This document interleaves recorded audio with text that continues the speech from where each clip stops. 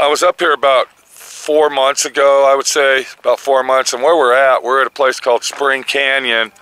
And Spring Canyon is above Helper, Utah. Now, what Spring Canyon is, it's an old mining district back from, and I'm sure you can hear that. You can hear that in the background. We got a bunch of free range cattle over here having a good time. So, yeah. So anyway, we're in Spring Canyon. Now this used to be a mining district and it's hundreds and hundreds of acres. So there's like 20 or 30 mines up here. I'm gonna make it quick and short. There's 20 or 30, maybe more abandoned mines in this district, this district they call Spring Canyon. And there was dozens of small little, what can we say, communities or towns in here the whole valley, the whole district, the whole canyon is full of abandoned structures, um, houses, um, mines, and just just abandoned everything. Now, I met the owner of part of this canyon, and I believe he said he owed he owns 35,000 acres. It was either 3,500 or 35,000, and he is building a house down the road really nice guy. His name was Rick. He's from Salt Lake City.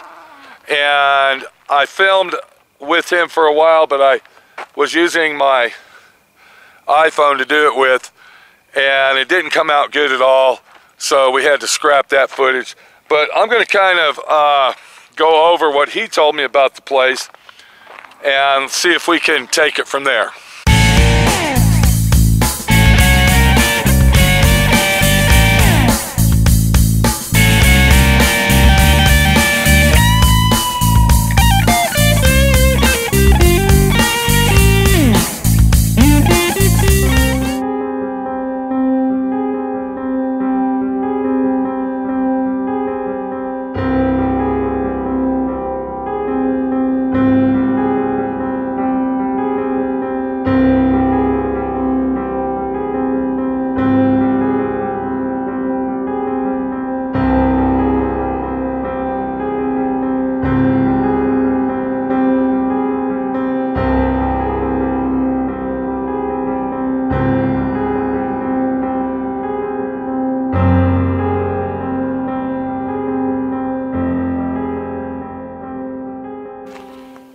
The structure we're looking at right here, and our buddy Rick, he actually had these signs made up, and they're all over the place.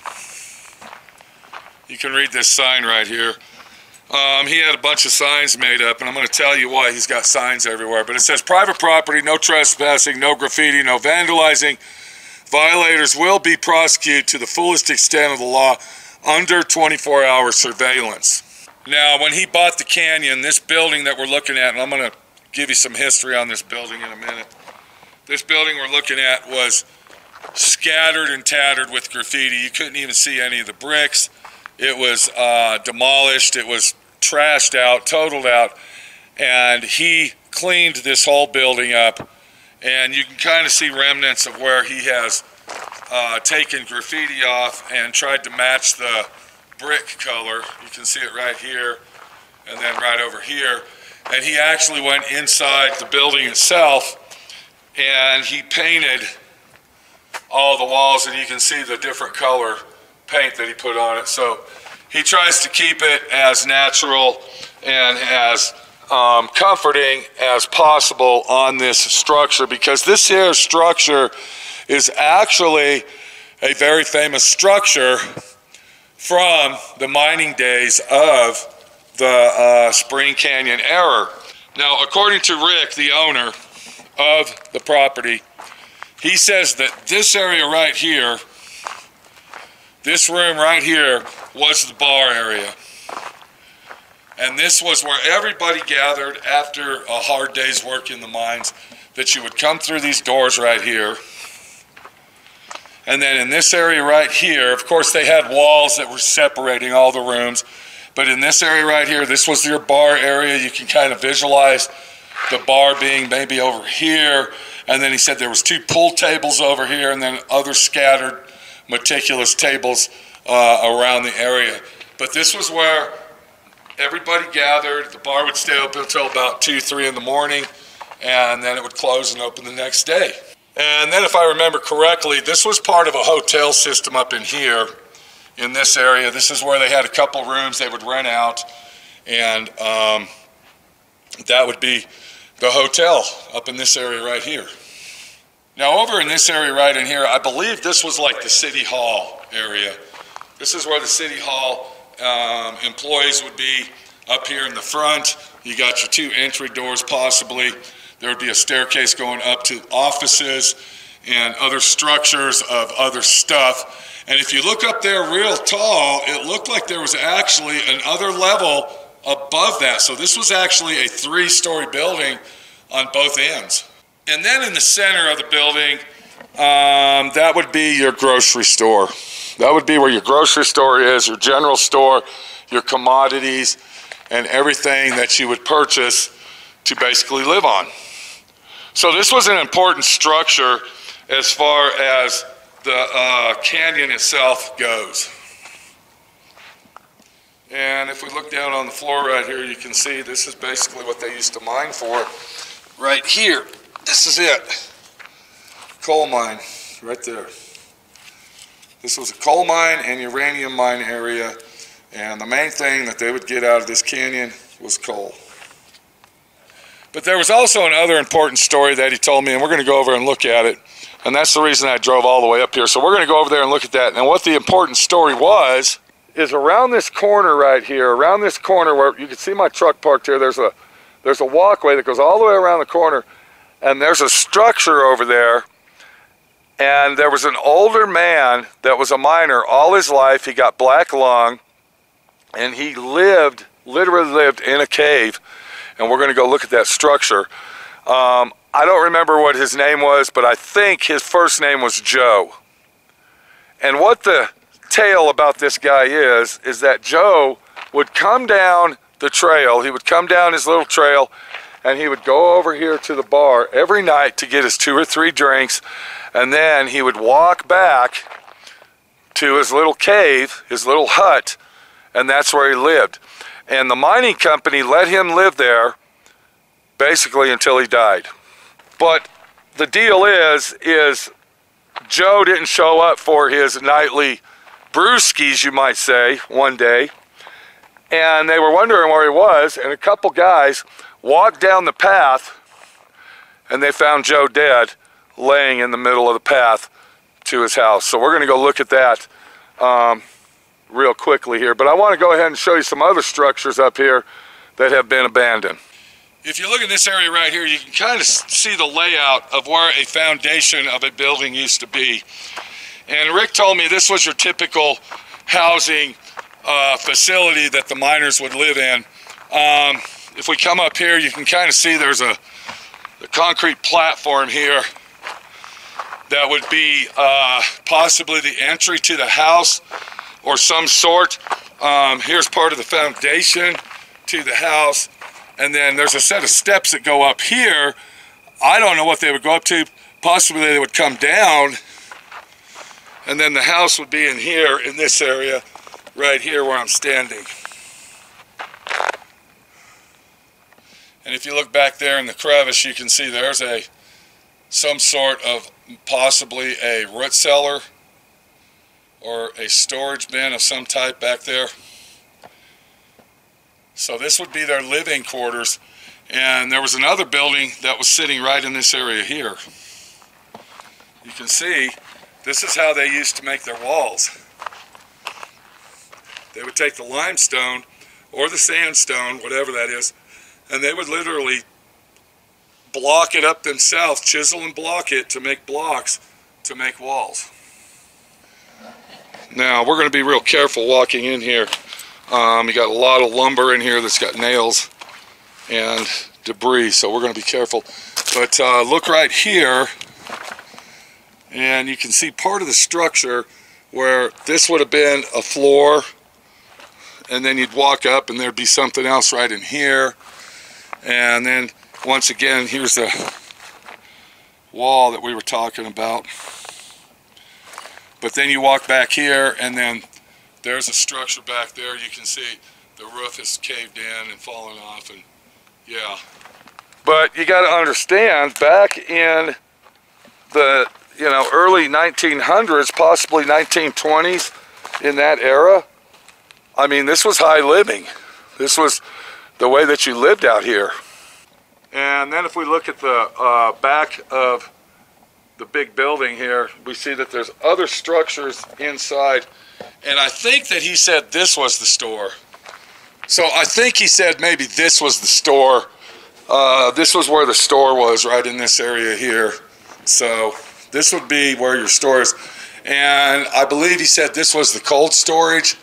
This is where they had the uh, freezer section of the building itself, and they would keep all their frozen goods in here. But um, this was the store, I believe. That's what he said. This was the grocery store.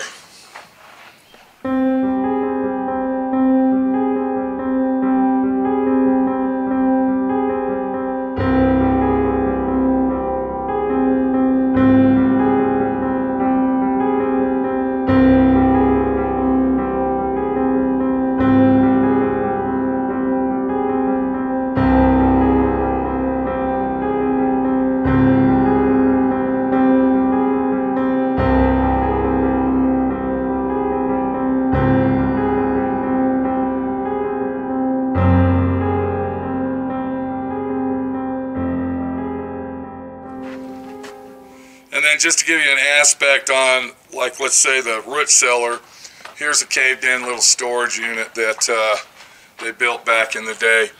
Okay, so now that we kind of got the backstory on what's going on up here, um, let's go over to look at uh, Miner Joe's place and actually see the house that he lived in. So when I came up here with Rick, we kind of went this way over here and we followed a little trail. And he also told me that he leases his property out for free range cattle. So he makes a little money doing that. But that he doesn't mind visitors coming up here. He just doesn't want his property trashed out. And he said that there is dozens dozens and dozens of abandoned structures throughout the 35,000 acres that he owns. And if you look right there, there's another abandoned structure that has collapsed and fallen in. And we'll probably see some more as we go up here. Let's kind of walk up the trail here. You can kind of kind of seismite and speculate where these structures were. There was another one right here. Maybe we can get in here and look at this one. Now, once again, I don't want to go too far in. Um, I am up here by myself, so if something happened, I would be screwed. But you can see here's a structure that looks like it was a square room right here. And look at the walls, how they built them. Yeah. And then over in this area right here, you can see that the structure still goes on all the way through the tree. So this was actually a big building right here. This building here was actually a building that stretched all the way over to there. I mean, look at that.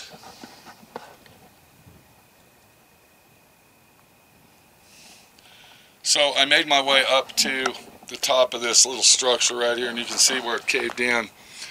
But um, also, look how it goes up to another structure on top of it over there. Rick told me that this is basically how big a house would be for a miner back in the day. This was basically the size right here. If you ever heard the old saying, one room shack, well, that's what you're looking at right here. So we don't know what this structure was, but we do know one thing. We need to watch out for nails. Old rusty nails on the foot is no good. And here's our brick wall once again. Or should I say rock wall. It's not bricks. So.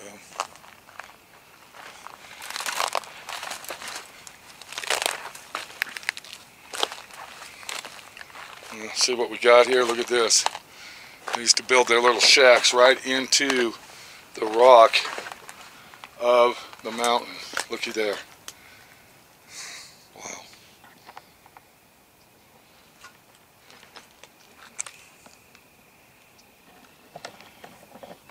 And just to give you a better look at that, that's what we're talking about.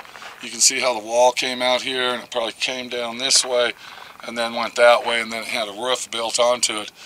But they basically attached it to that crevice over there so they can have more room to live in.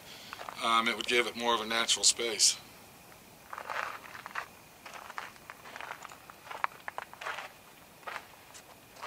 So back to the story of coal miner Joe. When we came up here with Rick, this gate was actually locked. It was not unlocked like that. And I actually had to help him close the gate. So somebody's been up here since. And more than likely, it's probably some 4x4 guy that came up here on his property. And that's another thing he doesn't like is people travel. I mean, you got to understand it is his property. But this is where we are going to see coal miner Joe's house. And once again, coal miner Joe used to walk all the way down to the local bar, which was at the big building I showed you. And he'd get his drinks, and then he'd walk back home. So, kind of make yourself feel like we're actually walking on the trail to our house back in the 1910s, 1920s, as we float down this dirt path after bruising ourselves up with a couple brewskis and coming home to our run room shack, which is located. So this is where coal miner Joe actually lived for approximately 35 years of his life, 35 or 40 years of his life. This is it. This is his shack And we're going to go in there and look at it check it out.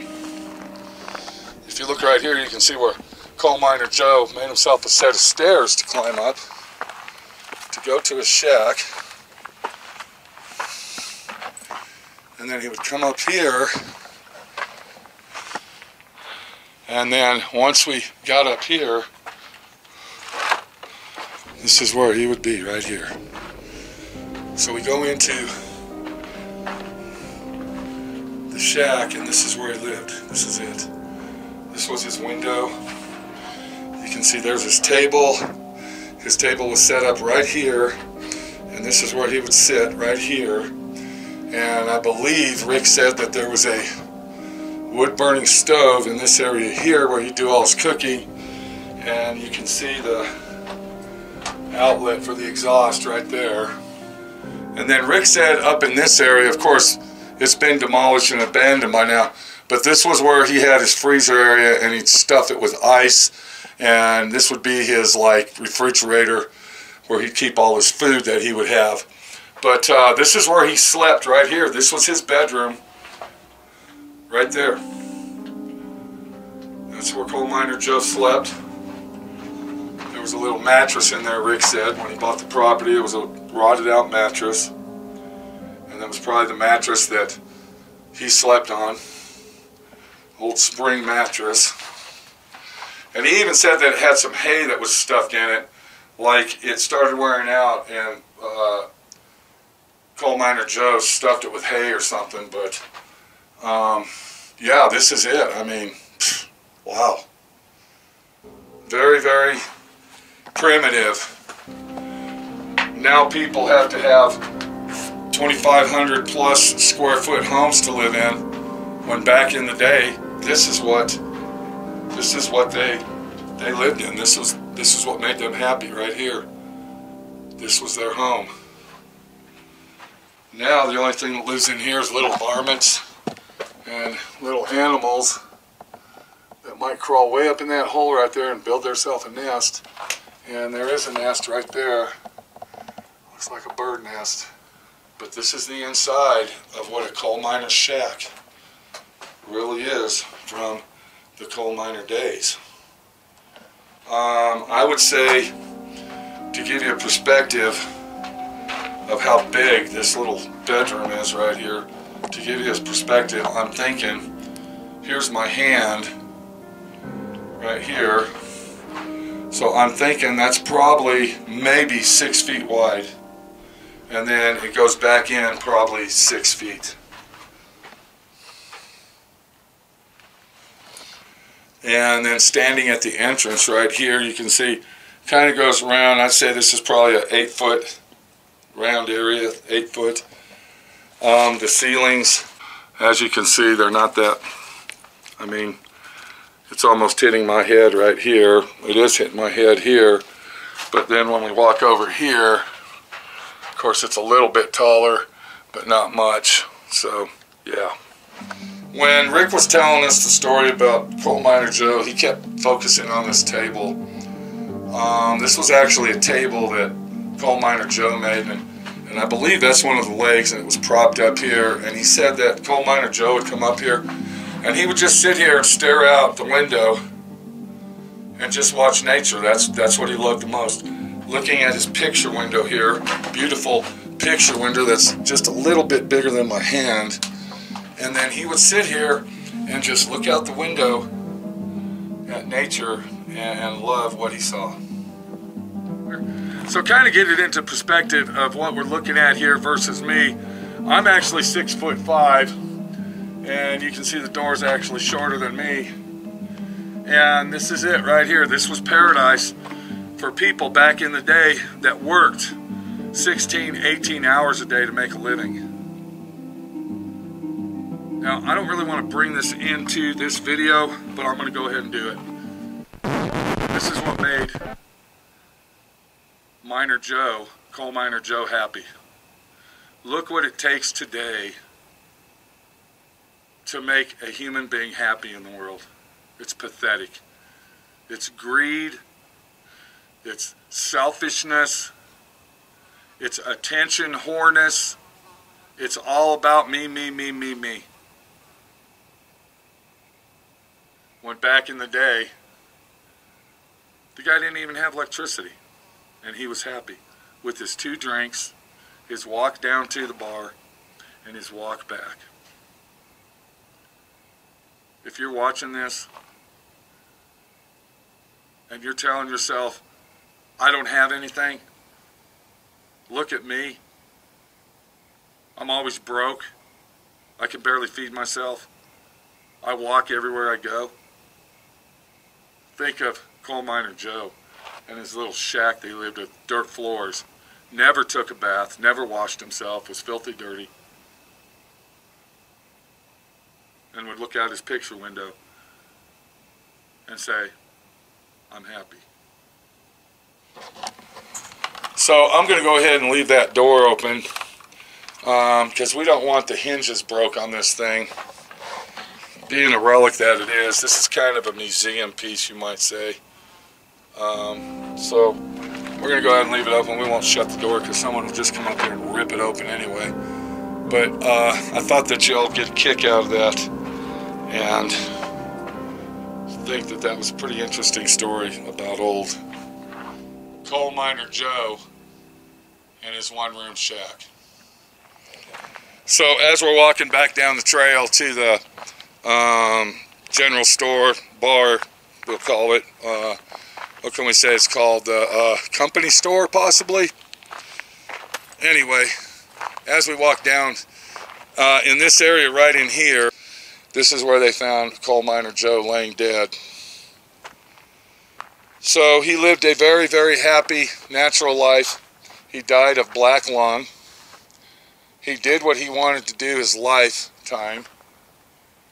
And he died in a nice, quiet place that he called home. So that was a nice little story about Spring Canyon, and I hope that you liked that story. Um, be watching for more stories about the history of Spring Canyon up here in Helper, Utah. Um, this was a very, very thriving industry up here Many, many people actually grew up here, went to school here, graduated from school here. There's actually an abandoned school building over here behind Rick's place, and uh, where everybody went to school.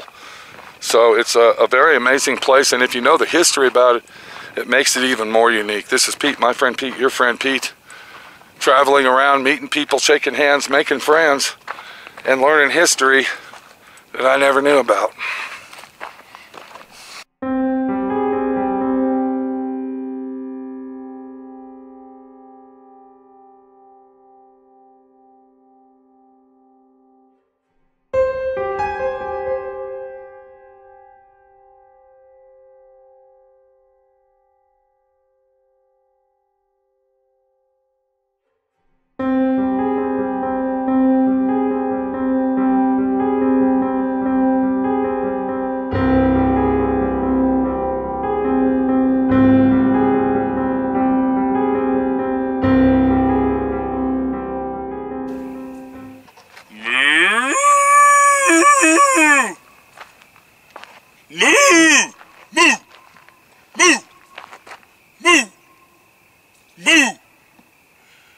Moo!